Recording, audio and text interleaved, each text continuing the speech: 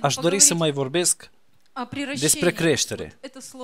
Acest cuvânt tradus din limba latină înseamnă o creștere progresivă. Și dacă vă amintiți de la școală, o progresie poate fi aritmetică sau geometrică. Progresia aritmetică înseamnă un șir de numere în care următorul număr este egal cu numărul precedent la care se adaugă un număr. De exemplu, în acest loc din Scriptură se vorbește vorbește despre creșterea progresivă a bisericii. Cum visează Dumnezeu? Dumnezeu nu se gândește că noi vom sta în Odessa încă 50 de ani și vom avea 200 de oameni în această sală. Vă impresionează acest lucru? Pe mine mă dezamăgește. Este cea mai mare dezamăgire în viața mea când eu înțeleg că viața trece și poate vă gândiți, eu sunt tânăr, am toată viața înainte și eu am fost tânără și 20 de ani parcă au fost ieri. Astăzi am 40.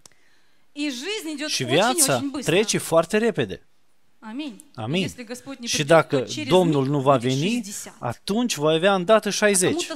Iar cineva, cine are 20, va avea 40. Alo. Alo.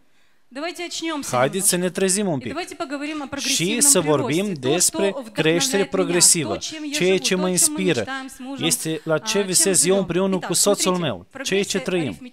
Să analizăm cea geometrică și cea aritmetică. Mă gândesc că progresia aritmetică este progresia cu care crește biserica noastră. Sunt doi oameni la care se adaugă doi. 2 plus 2 sunt 4. La patru oameni se mai adaugă același număr, 6. 2. Sunt 6. La 6 se adaugă încă 2. 8. La 8 se adaugă 2. 10. Ne oprim aici. Când au fost 2, și au adus încă doi, fiecare a muncit. Însă, când patru au adus doi, înseamnă că doi s-au odihnit. Și când șase au adus doi, înseamnă că patru s-au odihnit și când 8 au adus încă 2, înseamnă că câți oameni s-au odihnit? Câți oameni nu au participat la creșterea progresivă a bisericii? 6. Dar dacă sunt 100 plus 2, 98 se odihnesc. Dar dacă 250 de oameni sunt aici, în adunare, astăzi, Plus și plus 2? Îi este cuiva rușine aici? Potrivit cu lucrarea fiecarei părți în măsura ei. Pe mine cel mai mult mă inspiră progresia geometrică. Știi cineva ce înseamnă acest lucru?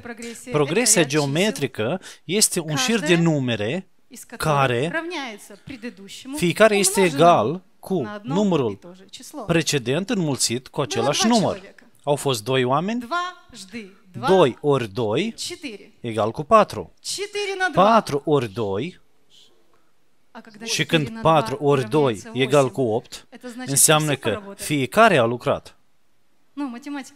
Cei din primul rând sunt matematicieni. Toți au lucrat.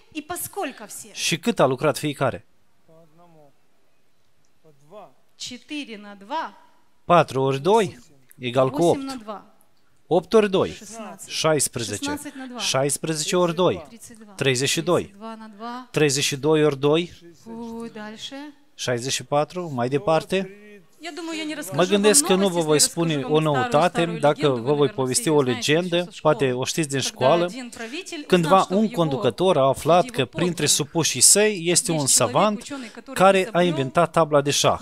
Și conducătorul era atât de impresionat de joc, încât a spus că vrea să răsplătească pe cel care a inventat jocul. Vreau să-l răsplătesc. Și când a venit acel om de știință, conducătorul a spus că îți dau și jumătate din împărăție. Însă, savantul a spus, dăm din hambarele tale.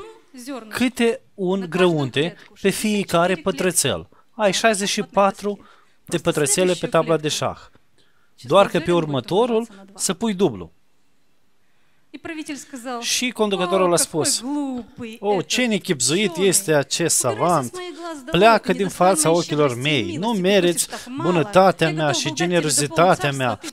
Eram pregătit să-ți dau și jumătate din împărăție, dar tu îmi ceri un sac de grâu. Ieși afară. Apoi a dat ordin ca să-i dea acelui savant ce i-a cerut a spus acest lucru supușilor care erau matematicieni. Și s-a făcut seara, a plecat acel vagabond cu sacul lui de grâu. Nu, Maria ta, noi calculăm. Dimineața. El întreabă, l-ați trimis mai departe, nu vreau să-l mai văd, nu merită generozitatea mea. Nu, măria ta, matematicienii încă mai fac calcule. Și apoi, pe la amiază, s-a făcut calculul și a spus, Măria ta, ai milă de noi și nu ne pedepsi. Nu sunt pe pământ atâtea boabe de grâu cât a cerut acest savant. Dacă vom seca mările și oceanele și vom netezi toți munții și vom semăna grâu acolo, nici atunci nu va ajunge ca să-i dăm cât a cerut. Acest lucru se numește progresie geometrică. În progresie geometrică, fiecare membru al trupului lui Hristos devine asemenea nouă. Fiecare lucrează pentru creșterea bisericii. Slavă lui Iisus Hristos! De aceea, cum ne învață pastorul, legile funcționează. Aritmetic, geometric, sunt legile pe care le-a lăsat Dumnezeu în univers și ele funcționează, chiar dacă le aplicăm pentru noi.